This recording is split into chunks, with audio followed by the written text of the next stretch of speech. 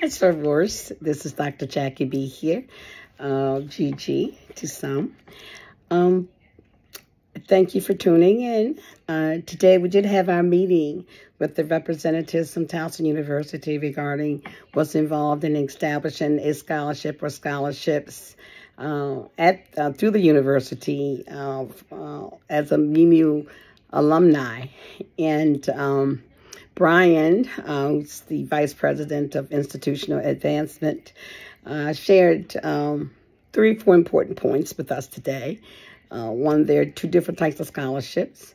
Uh, some of the what's involved with the criteria, um, limits, and restrictions, and how soon we can get this thing going. So First, he shared that there are two different kinds of scholarships. Uh, one is called an operating scholarship, and the second one is an endowed scholarship. An operating scholarship is uh, you you get some money and you set up your criteria and you say I want to give out, you know, five hundred dollars scholarships for uh, to hire many students. And the money is spent and the scholarships are awarded until the money is all gone. There is not any interest uh, earned on the money. It's, you know, as the money's there, it's given out. It's called an operating scholarship. And you, you, you do have the option of every year contributing to the operating scholarship, just knowing that you don't really build any interest on it. And when the money, if there's no money there, no scholarship is given the second kind of scholarship, and the scholarships are not mutually exclusive. We can have both types, and I'll talk about that in, in a second as well. The second kind of scholarship is endowed scholarship, and that starts with a minimum of $25,000 that we have contributed to the university and then once that's there, the it's invested in it in, in, into the pool of, of investment money from the foundation, and then we begin to earn interest on that money, and that is the money that is actually awarded for scholarships. And you need a minimum of twenty five thousand dollars for that uh, to happen. Uh, Brian recommended $30,000 based on the way that the income and the interest is earned so that we can be even begin as early as 2025, awarding money from the endowed scholarship. However, if you wanted to give money immediately starting uh, this fall, for example, fall 2024, we can uh, set up an, uh, an operating scholarship. Now, and we can do both at the same time, by the way. Uh, Brian recommended and reminding us that we still have a little over $2,600, I think, sitting in an account from the funds that we had raised uh, to go towards the National Pan Hellenic Council uh, tribute. And of course, we were, you know, being Deltas and being Mu Mu, we raised, we outraised everybody else and, and uh, met our goal and exceeded our goal. So we still had some funds for that from that. And, and I mentioned years ago that we got to get back to talking about what we're going to do with this money. So now we're talking about it. And his recommendation was that we use that money to maybe give away uh, two scholarships, uh, $1,300 scholarships, scholarships in the fall, this fall uh, coming.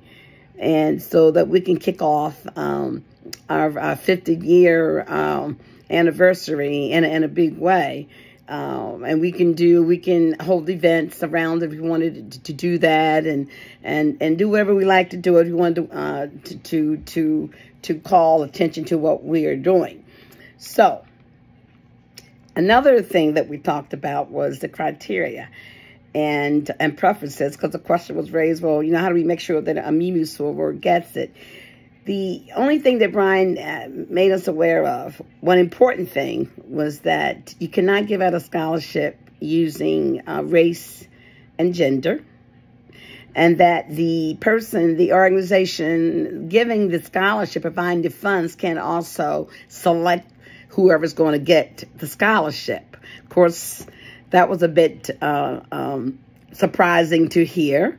Uh, however, we can put in place uh, once we set up our criteria, we can put into place preferences. Uh, one thing we can do by saying we want uh, it to be a, a member of Mu Mu chapter. Uh, we can also say that if new soror is not available this year to meet the criteria, we can maybe say we want a member of a D9 organization uh, to be the, the second preference. And so we can put things into place once we draw up the, mem the MOU, Memorandum of Understanding, about what we want in place for our scholarships. And um, um, but that was kind of surprising to hear. The other way we can have impact on who actually gets it is that once we set the criteria in the university, we're automatically generate a list.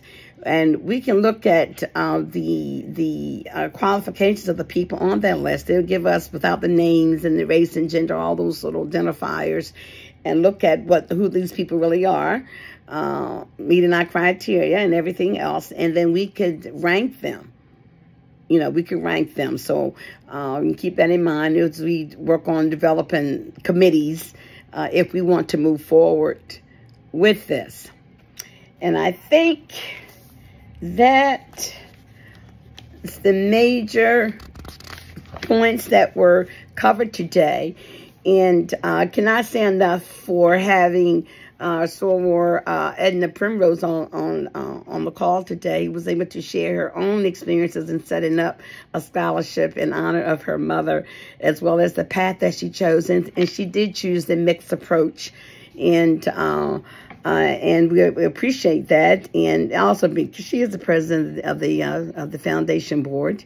Uh, thank you, Edna, and uh, also Felicia, uh, Tanya, uh, Vanessa, your expertise. I know you, you, said something with your mic today, but you were online today and you kept have to keep Brian on the straight and narrow since he knows you know what he's talking about.